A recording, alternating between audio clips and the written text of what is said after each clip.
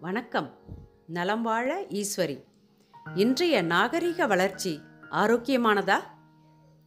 முன்னை பழமைக்கும் பழமையாய் பின்னை புதுமைக்கும் பெயர்த்தும் அப்பெற்றியதாய் என்றார் மாணிக்க வாசகர்.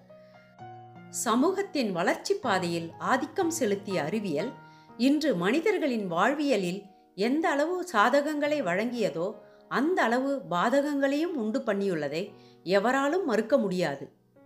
சாதகங்கள் பாதகங்கள் ஆனது எவற்றில்? பார்க்கலாம் வாங்க. அரிசி சோறு சாப்பிட்டா சர்க்கரை ஏறும்னு சொல்லி கோதுமை சப்பாத்தி சாப்பிட சொன்னாங்க. அப்புறம் அரிசியும் கோதுமையும் விட பழம் காய்கறி நிறைய சாப்பிடுங்கன்னு சொன்னாங்க.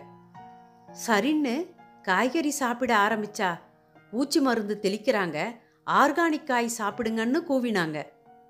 போய் பார்த்தா ஆன வேலை குதிரை வேலை. இருந்தாலும் ஆரோக்கியம் பெருசுன்னு கேட்ட காசை கொடுத்தோம். இப்போ என்னன்னா ஆர்கானிக் எல்லாம் போய் வாடின வதங்கின காய் தான் ஆர்கானிக்குன்னு ஏமாற்றி விற்கிறாங்கன்னு துப்பு துளைக்கி ஒரு பக்க நீளத்துக்கு பேசுகிறாங்க உப்பையும் சாம்பலையும் வேப்பங்குச்சியும் வச்சு பல் விளக்கினோம்.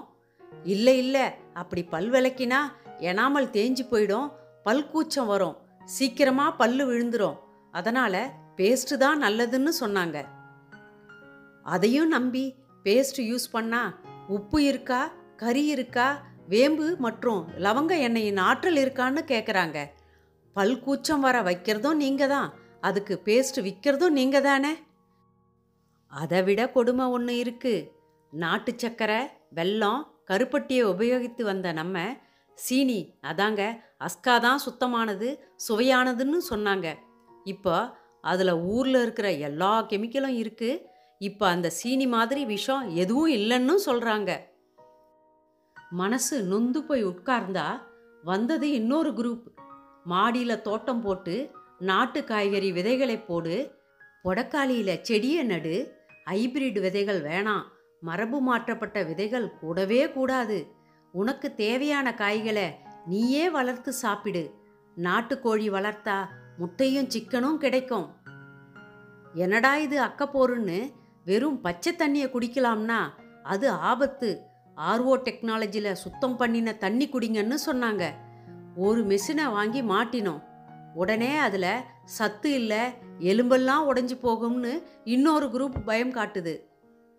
மறுபடியும் பச்சை தண்ணியை அப்படியே குடிக்க சொல்கிறாங்க தண்ணியை கொதிக்க வச்சு செப்பு அண்டாவில் ஊற்றி குடி ஒரு நோயும் வராதுன்னு சொல்கிறாங்க அடப்பாவிங்களா முப்பது வருஷத்துக்கு முன்னாடி இப்படி தானடா நாங்கள் எல்லாரும் வாழ்ந்தோம்.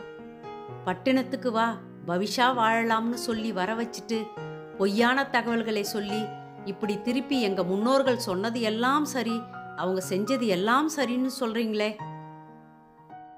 உணவையே மருந்தாக உட்கொண்ட பாரம்பரியத்திற்கு சொந்தக்காரர்களாகிய நாம் இன்று மருந்துகளையே உணவாக உண்ணும் நிலைக்கு தள்ளப்பட்டிருக்கிறோம்.